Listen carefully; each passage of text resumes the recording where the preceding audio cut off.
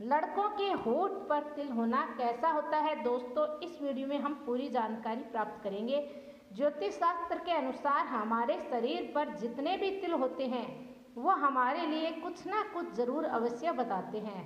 साथ ही साथ हमारी खूबसूरती को तो बढ़ाती ही है। तो दोस्तों, आज की वीडियो में हम बात करेंगे कि लड़कों के होठ पर तिल होते हैं तो लड़कों के लिए कैसा होता है? ऊपरी होठ पर तिल हो तो कैसा होता है और नीचे वाले होठ पर हो तो कैसा होता है? वीडियो बहुत छोटा सा है दोस्तों, इसलिए पूरा सुनिएगा। और एक फ्रेंड्स ने रिक्वेस्ट की है कि अगर होठ, लड़कों के होठ पर तिल हो तो कैसा होता है? उन्होंने कमेंट किया, उसी के अकॉर्डिंग ये वीडियो बनाया गया है।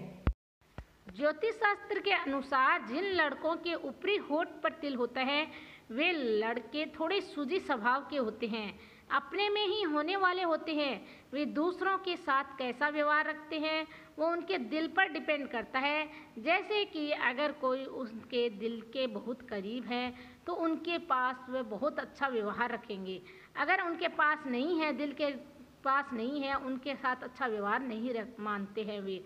लेकिन सभी लोग भी उन्हें पसंद नहीं करते हैं। जिन लड़कों के ऊपरी होठ के लेफ़्ट साइड में तिल हो तो वे बहुत अच्छा नहीं होता है। ऐसा कहा जाता है ज्योतिष शास्त्र के अनुसार कि ऐसे लड़कों को जीवन में अपने जीवन साथी से बहुत कम सहयोग प्राप्त होता है। लेकिन ऐसे लड़के स्वभाव के बहुत अच्छे होते हैं, क्योंकि कोई भी उनसे बहुत अच्छी तरह से आसानी से प्रभावित हो जाता है। उनके लिए बहुत ही अच्छा होता है ये।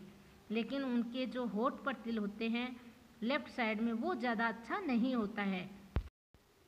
ज्योतिष शास्त्र के अनुसार लड़कों के नीचे वाले होठ के दाएँ तरफ़ तिल होते हैं तो वे लड़के अपने कार्य क्षेत्र में बहुत ही परफेक्ट माने जाते हैं। कार्य क्षेत्र में परफेक्ट होने की वजह से वे लड़के लोगों के बीच बहुत जल्दी प्रसिद्ध भी हो जाते हैं, अपना नाम कमाने वाले होते हैं। ऐसे लड़के को खाने का काफ़ी शौक होता है। स्वभाव में ऐसे लड़के बहुत ही रोमांटिक होते हैं। ज्योतिष शास्त्र के अनुसार जिन लड़कों के नीचे होठ पर बाएँ और तिल होते हैं, ऐसे लड़के खाने के काफ़ी शौकीन होते हैं और इनको छोटी छोटी कई प्रकार की बीमारियाँ हो जाती है, जैसे सर्दी हो गई, जुकाम हो गई, इस तरीके से।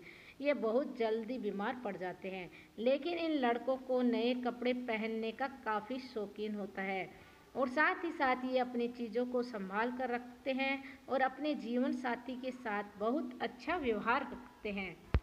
चैनल को लाइक, सब्सक्राइब और कमेंट कीजिए। मिलते हैं अगले वीडियो में, तब तक के लिए नमस्कार।